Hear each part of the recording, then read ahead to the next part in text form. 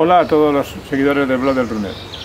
Hoy voy a realizar un recorrido de unos 15 kilómetros y quiero aprovechar para presentaros un nuevo tipo de ropa que voy a utilizar durante el mismo. Se trata de un tejido muy novedoso que actúa como refrigerante y que nos viene muy bien para poder hacer salidas durante épocas de mucho calor y, cuando realizamos ejercicios de una duración muy prolongada. Se trata de una ropa que está confeccionada con unos tejidos muy novedosos que funcionan única y exclusivamente con agua. Eh, está basada en la tecnología de evaporación del agua que en el proceso de evaporación absorbe calor y nos lo retira del cuerpo. Os voy a presentar dos variantes, una de tecnología húmeda, que es tanto el peto como las muñequeras, y otra tecnología en seco, que en este caso está representada por esta gorra. A continuación voy a enseñaros cómo mm, debemos proceder con esta ropa para empezar a utilizarla y correr con ella. Abrimos el tapón. Vertemos unos 100 mililitros de agua en el interior de la gorra. Cerramos el tapón. A continuación extendemos el agua por el interior de la gorra. Escurrimos el agua sobrante y ya está lista para ser utilizada. La ventaja que ofrece esta tecnología es que la gorra está completamente seca, el agua está en el interior y, y en el forro interior también está completamente seco. Seguidamente vamos a ver cómo se utiliza este segundo modelo de ropa, el que utiliza tecnología húmeda y para ello mm, vamos a aprovechar que tenemos aquí un río y vamos a mojar, introducir en él el peto y las muñequeras. Tanto el peto como la muñequera nos sumergimos durante unos segundos. Una vez hecho esto, escurrimos bien, podemos utilizar tanto sobre una camiseta o bien sin nada.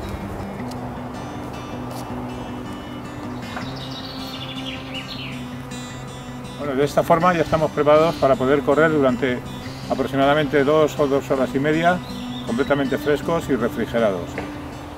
Hoy, en vez de llevar la gorra dry que os he enseñado anteriormente, voy a utilizar una, la bandana y, como veis, además lo complemento con un book que llevo porque tiene protección eh, rayos.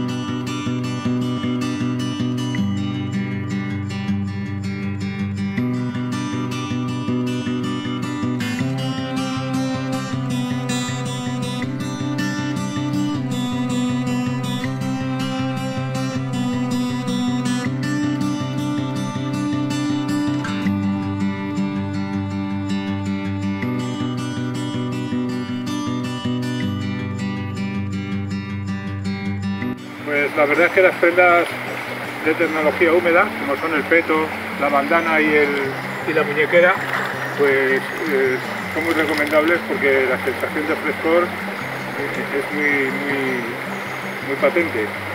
Y además van ubicadas en sitios estratégicos como son esta, esta, bandana puedes utilizarla también como pañuelo de cuello o bien ponértela de esta manera en la cabeza y al igual que las muñequeras también la sensación de frescor es bastante, bastante grande.